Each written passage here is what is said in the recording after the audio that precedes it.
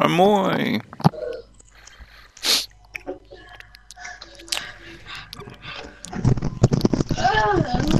What, what the hell are you doing to Aiden?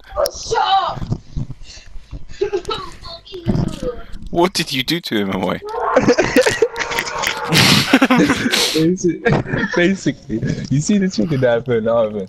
It has like extra, extra spicy on it. and he ate it. I never told him. Holy shit! Holy shit! Chill, stop. Chill, chill out.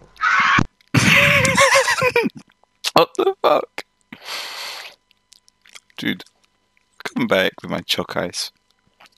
I hit Aiden just fucking. You know?